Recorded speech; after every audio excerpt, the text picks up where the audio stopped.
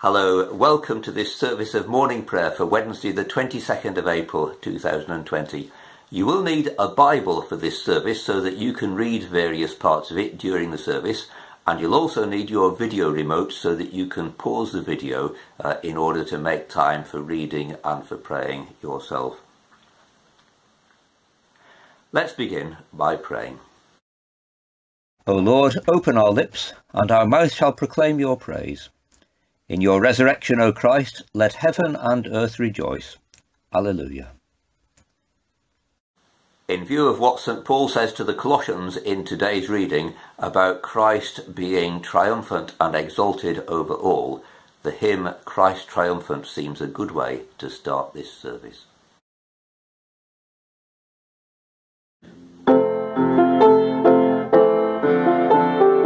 Christ triumphant,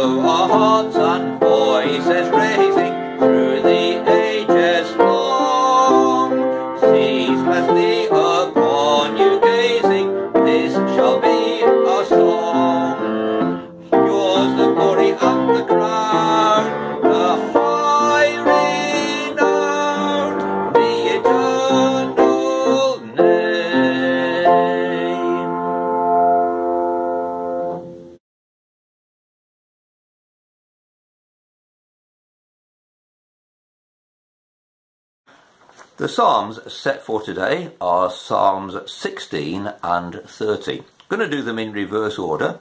Uh, here's a metrical version of Psalm 30 to a well-known Russian folk tune.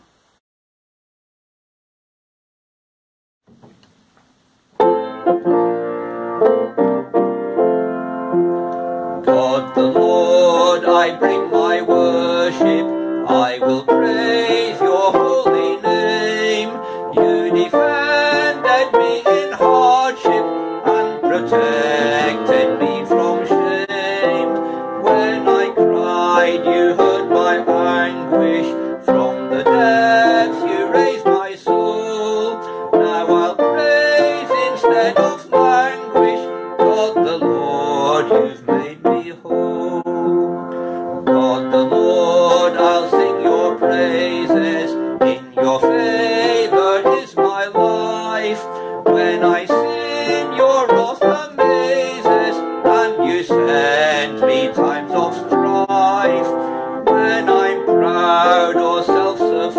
self-sufficient, then your anger takes its toll. When I turn your beneficent, God the Lord, you make me whole. God the Lord, I bring repentance for the times I miss your ways. If you carried out my sentence, could my dust declare your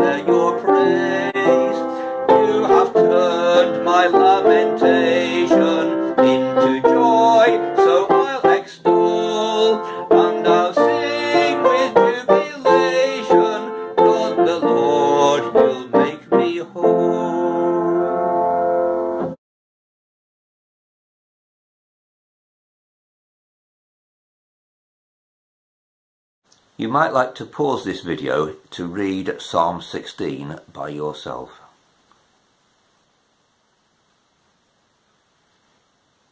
And the next part of Exodus is the Old Testament reading for today, chapter 16. Uh, if you didn't read the first part yesterday, please read it now, but the main part for today uh, is verses 11 to 36, the way that the people of Israel were fed by manna and quail in the wilderness.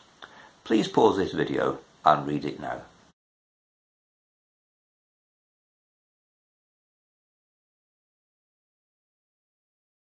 Our New Testament reading today continues in Paul's letter to the Colossians. It's chapter 2, verses 1 to 15. Please pause this video and read it now.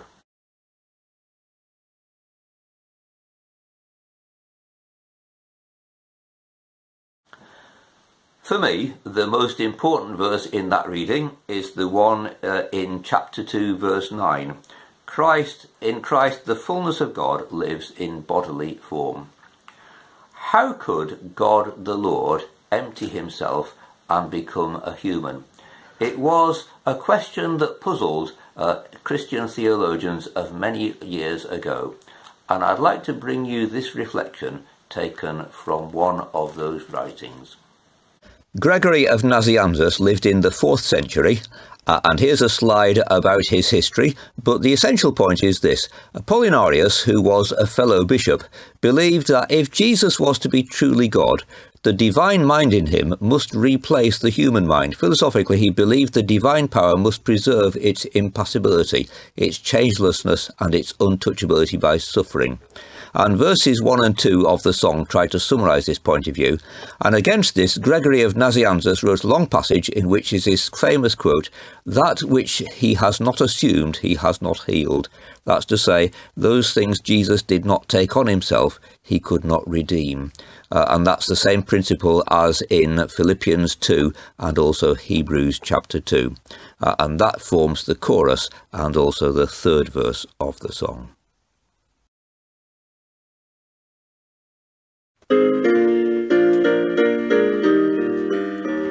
How could God the Lord have a human mind?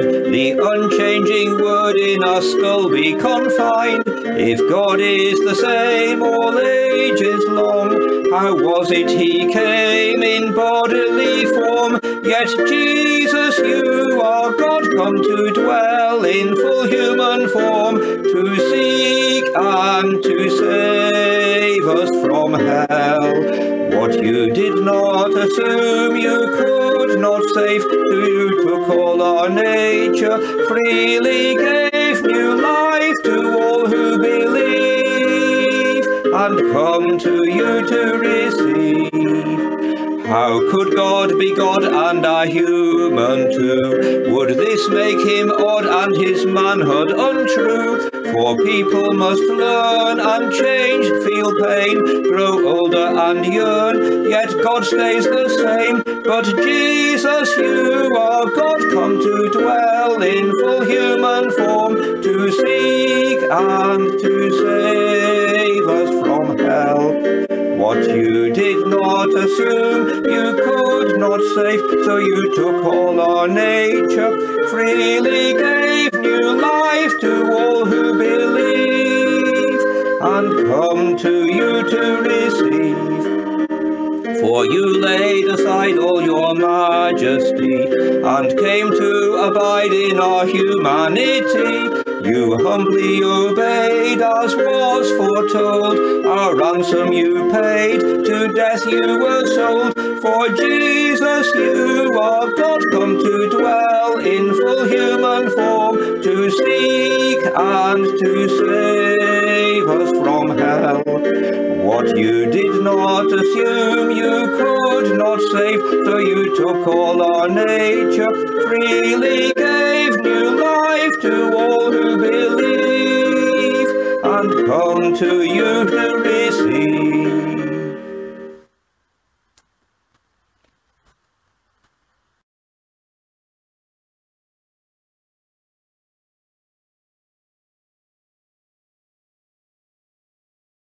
Formally speaking, the ministry of the word concludes with the Benedictus. Please pause and read it now.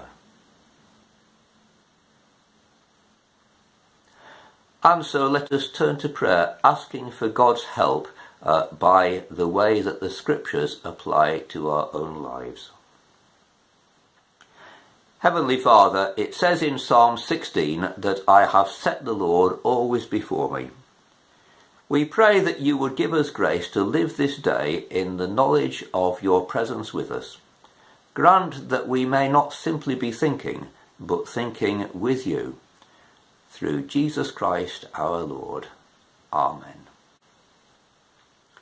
Father, in Exodus we read of your provision uh, for the Israelites in the wilderness, feeding them with manna and quail on a regular basis.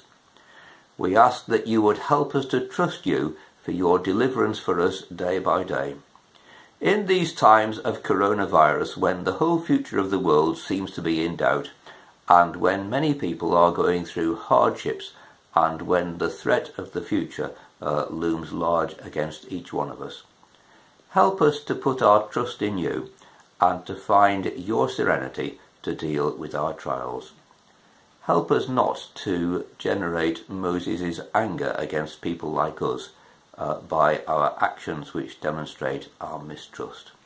Through Jesus Christ our Lord. Amen.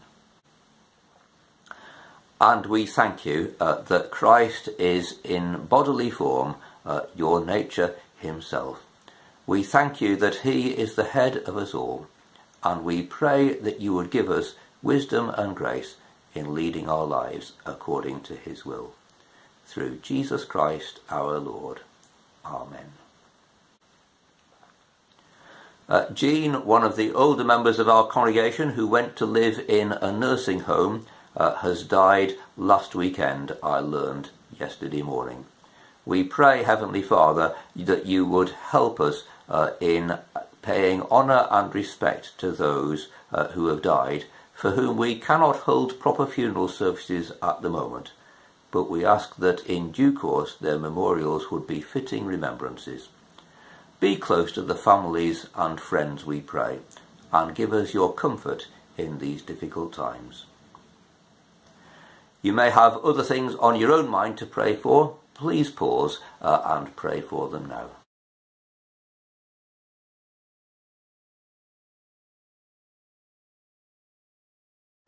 The collect for today. Almighty Father, you have given your only Son to die for our sins and to rise for our justification.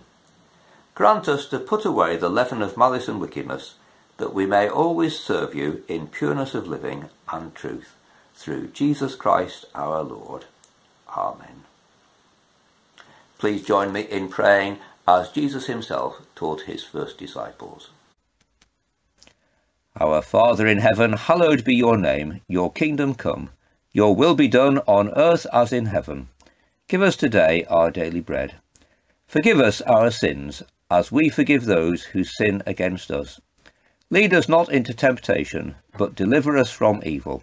For the kingdom, the power, and the glory are yours, now and forever. Amen. May the risen Christ grant us the joys of eternal life. Amen. Let us bless the Lord. Alleluia, alleluia. Thanks be to God. Alleluia, alleluia. We always uh, look for feedback and comments uh, and criticisms uh, and your reactions uh, to these services. Do please get in touch because we would like to improve what we do so that it will be helpful. May God be with you today as you walk with him.